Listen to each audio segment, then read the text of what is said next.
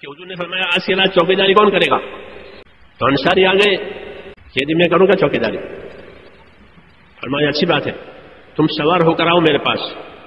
फिर घोड़े पर सवार होकर फिर हाजिर हुए फिर वो आपने बताया, ये ये जगह है कि यहाँ चौकीदारी करनी ज़रूरी है या निगाहदाश निगरानी करनी ज़रूरी है जब जगह बता दी। कि जगह से होशियार रहना। जाओ। हिदायत दे दी। चले गए रात को। रात गुजर गई। सुबह की नमाज़ का वक्त आया। तो जनाब रसूलुल्लाह सल्लल्लाहु अलैहि वसल्लम लोगों को नमाज़ पढ़ाने के लिए तशरीफ़ लाए। आपने लोगों से पूछा, तुम्हारे सवार का क्या क्या हाल क्या हाल है? कोई खबर है? लोगों ने कि हमारे पास तो अभी हमारे सवार की कोई खबर आई नहीं है। बस वो रात को गए हैं। फिर आपने नमाज़ पढ़ाई। नमाज़ से फारिग होने के बाद फरमाया कि तुम्हारा सवार आने वाला है। इतने में वो झाड़ियों में से आता हुआ नज़र आया। जंगल में से। और आकर के सामने खड़ा हो गया सलाम करके। हजूर सल्लल्लाहु ने पूछा, क्या पूछा? ये नहीं पूछा खैरियत है, रात कैसे गुजरी, ये नहीं पूछा। तरबियत की बातें होती है।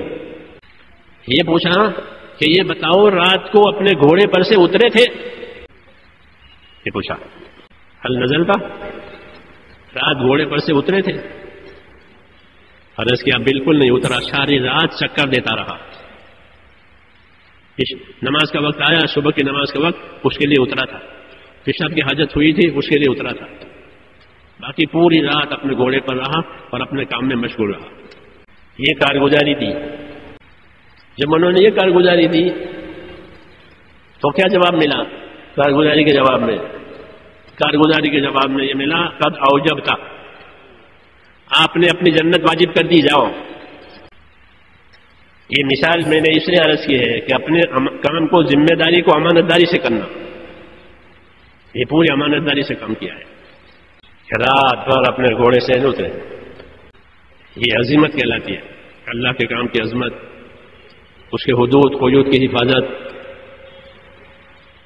इसलिए एक ही रात में इतना इनाम मिल गया क्या आपने अपनी जन्नत वाजिब कर ली।